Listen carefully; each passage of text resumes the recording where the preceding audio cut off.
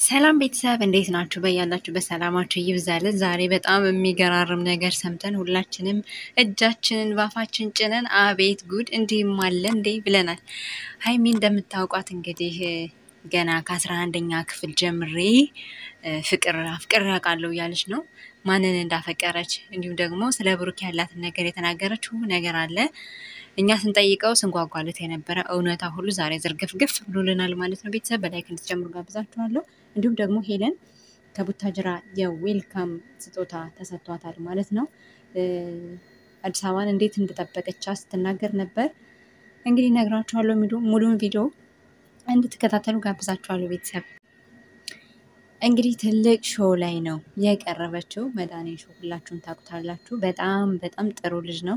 በጣም ጥሩ ልጅ ከሚባለው በላይ ግን ማንኛውም ሰው በባለፈው እኔ ሲያለቅስ ስላየሁት በጣም ነው የገረመኝ። ሰው ለብሶ ስታዩ ስቆ ስናይ ያው ደስተኛ ወይ ደግሞ ሀብታም ምናምን እንደዚህ ይመስለናል። አንዳንድ የበጎ ስራዎችን ሲሰራ ስጦታዎችን ሲሰጥ ያለው ምናምን ይመስለናል። ግን ብዙ የሚጎል ነገር አለ የሰው ልጅ እና ሲያለቅስ በጣም ነው ያሳዘነኝ። እውነት ሰው የሚረዳ አንዳንድ ጊዜ የውስጣችሁን የሚረዳችሁ ሰው የምታጡበት ጊዜ ከባድ ነው እና ሲያለቅስ በጣም ነበር የገረመኝ። ጆሲን ሳይፈልግ ሲያለቅስ ነበር። በዚህ አጋጣሚ ጥሩ ልጅ ነው ለማለት ፈልጌ ነው። ከትንንሾች ጋር ወርዶ የሚሰራ ራሱ ዝቅ አድርጎ የመጣበትን የማይረሳ ጥሩ ወንድማችን ነው እና እግዚአብሔር ከፍ ያለ ቦታ እንዲደርስ ምኞቴ ነው። ሀይሚ ብሩኬን እንግዲህ ብዙ ጊዜ እንጠይቅ ነበረ፣ አቅርብልን አቅርብልን አቅርብልን የሚል ብዙ comment ን የማይቼ ነበር። እና አብረው ስለቀረቡ በጣም ደስ ያለኝ ከምላችሁ በላይ ምክንያቱም ያው ከመውደዳችን የተነሳ ነው ብዙ ጊዜ ጥያቄ የምንጠይቀው። አንድ የሆነ ሚዲያ ትልቅ ሚዲያ ስናገኝ ብዙ comment ኦችን እናያለን። ምንም እንኳን ወቅቱ የእንደዚህ አይነት ነገር ባይሆንም ግን ደግሞ እስከ ኖርን ድረስ እንዲሁም ደግሞ social media ተጠቃሚ እስከሆንን ድረስ ለምናየው ነገር የምንሰጠው የራሳችን የግላችን ሀሳብ ይኖራልና የሀይሚና የብሩኬ ግንኙነት በተደጋጋሚ ይጠየቃሉ። እነሱም የመለሱበት ጊዜም አለ። እኛም ደግሞ ጥያቄያችንን ቀን በቀን እየጨመረ የሄደበት አጋጣሚ አለ። ስለ ሁለቱ ግንኙነት እኔ በእርግጥ እንደዚህ ስራዬ ብዬ ወይንም ደግሞ እንዴት ይሁን ብዬ አስቤበትም ቦታም ሰጥቼው አላቅም። አብሮነታቸውን አብረው ሲሰሩ ብቻ በጣም ደስ ይለኛል። ግንኙነታቸው ምናምን በጣም እወደዋለሁ። ማለት ጽድት ያለ እንደዚህ አለ አይደለ እየተፈራሩ ግን ደግሞ አላደል ደስ የሚል የሆነ life ያላቸው ናቸው። እንግዲህ ከተገናኙ ሶስት ወራቸው ነው። የተገናኙበትን ግን እኛ በብዛት የምናውቀው ሙቤ ቤት የአፍጥር ፕሮግራም በተዘጋጀ ሰዓት ቴምር ሲጎራረሱ ነው በብዛት viral የወጣ እሱ ቪዲዮ። እነሱ ግን የሚሉት ቪዲዮ የወጣው ያሉት የሚሉት የአብርሽ የቀለበቱ ፕሮግራም የአብርሽና ሩታ ቀለበት ፕሮግራም ያዘጋጁ ቀን የዛን ቀን ጉርሻ ሲያጎርሰኝ ነበር ጉርሻ ሲያጎርሰኝ ነበር እና አልበላችም ብሎ ነው ያጎረሰኝ። መቼስ ማንኛውን ሰው እንደ ሀገራችን አንድ ሰው የሚያስተናግድ ከሆነ ያው ለሚያስተናግድ ሰው ደግሞ ቁጭ ብሎ ለሚበላ ሰው ቁጭ ያለው ሰው ያጎርሳል ማለት ነው ለሚያስተናግደው እና ይህ ባህላችን ነው። ግን ሰው በሌላ አዞሮና ብዙ ነገር አለ። ነገር ግን ለእኔ ትልቅ ቦታ አለው። ያቺ ቀን እንኳንም ሆነች እንኳንም አጎረሰኝ ብዬ የማመሰግንበት ቀን ነው ስትል ትትናገር ነበር።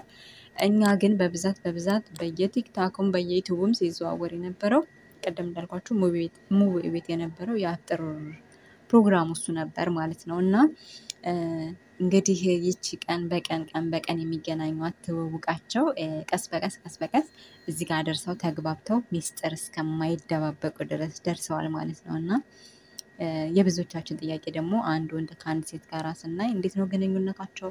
ተፋቀሩ፣ ተጣመሩ፣ ተጋቡ ምናምን ምናምን ብዙ ነገር አለ። ግን ዝም ብሎ ከአንድ ሰው ጋር ቢያንስ ወንድ ሴት ጓደኛ እንዳለ ሁሉ ወንድም የሴትና ወንድ ጓደኛሞች መሆን እንደሚችሉ ግን ብዙ ሰው የሚረዳ ያለ አይመስለኝም። ከብሬ ነው የምላችሁ።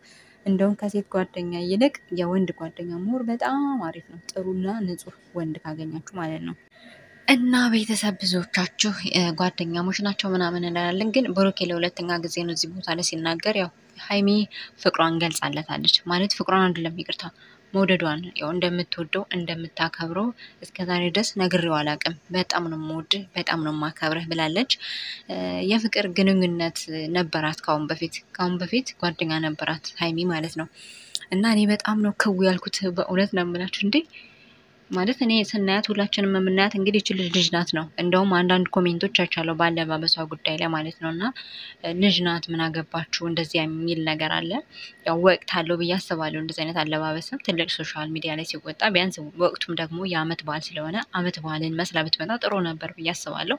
በሱ ዞሮ አያገባኝም። ነገር ግን በጓደኛዋ ላይ ነው የገረመኝ። አስራ አንደኛ ክፍል እያለን እንግዲህ ያው አየሁትኝና ድንገት ወደድኩት እያለች ነበረ አየሁት ወደድኩት። እሱ ከዛ በፊት እንትን ላይ ነበር። ከዛ ግን ወዳታለሁ ማለት ሲጀምር ከዛ ተጣልተን ስሬ እንዳትቀመጥ ብዬ አባረርኩት እያለች ነበር። ከዛ በኋላ ግን እሷ እሱን መውደድ ጀመረች። እና እንግዲህ እንደ አጋጣሚ ሀይሚዬ ያይን ፍቅር አትሉትም፣ ግን ያው ትክክለኛ ፍቅር እንደሆነ እንደያዛ ስትናገር ነበረ። እሱ ያፈቀረኝ ጊዜ አልተረዳውም ነበር። አሁን ግን ተረድቼዋለሁ ማለት እሱ ቦታ ሲቀይር ትምህርት ቤት ሲቀይር ተረዳሁት ስሜቱን እያለች ስትናገር ነበር። እና በጣም ነው የገረመኝ። እኔ ከምሬ ነው የምላችሁ። በጣም ሲጀመር ደግሞ አንድ ላይ አንድ ወንበር ላይ ነው የሚቀመጡት። በአጠቃላይ ብቻ ግን የትምህርት ቤት life እውነቷን ነው በጣም ደስ የሚል life ነበራት ያሳለፈችው ማለት ነው። በዛ ላይ ደግሞ በጣም ጎበዝ ሰቃይ ተማሪ ናት። ጎበዝ ብለናል። አሁንም እንግዲህ ከብሩኬ ጋር ያለሽ ግንኙነት ትምህርትሽን በማይነካ መልኩ እንድታደርጊ አሁንም ያው መልእክታችን ነው።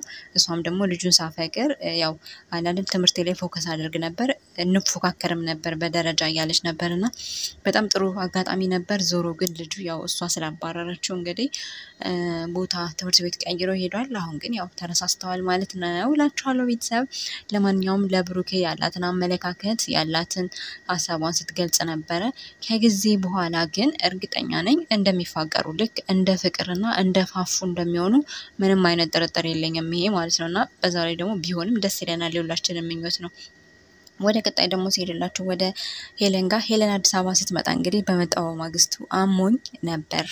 ያው አየር ሲቀያየር ግዴታ እንደዚያ ያደርጋል እና አቀባበል አድርጎልኝ ነበር ብላለች። ሲቀጥል ደግሞ አዲስ አበባ ላይ ብኖር ደስ ይለኝ ነበር፣ ግን የቤት ኪራይ ሰላሳ ሺህ ብር ነው። እንደዚህ ኮኜ መኖር አልችልም። እኔ አቅም የለኝም። ተምሬ ስጨርስ ባለ ስራ ስሆን በዛን ሰዓት ለመኖር ሞክራለሁ ስትል ነበር ማለት ነው። እና ለማንኛውም እንግዲህ መልካም እድል እንዲሆንላት እንመኛለን። ለማንኛውም በዚህ አጋጣሚ አላዛር ወንድማችን ያው የ gift የቱታ ስጦታ ተሰጥቷታል ማለት ነው። እኛ ጋቢ ነበር የጠበቅነው፣ ነገር ግን ያው ቆንጆ complete ቱታ ነው። በጣም አሪፍ ወቅቱን የጠበቀ ያው አዲስ አበባም ቀዝቀዝ ስለሚል ያንን የጠበቀ ይመስለኛል። እንግዲህ የሄለንን ደግሞ interview ለማየት እንጓጓልን። በጣም በርካታ ጥያቄዎችን እንጠይቅሻለሁ ሲላት ነበር። እንግዲህ ምን ምን እንደሚጠብቃት ሁላችንም በጉጉት እንጠብቃለን። ቤተሰብ የዛሬ ቪዲዮ ይመስል ነበር። መልካም በዓል እያልኳችሁ like እና subscribe ማድረግ እንዳትረሱ። bye bye።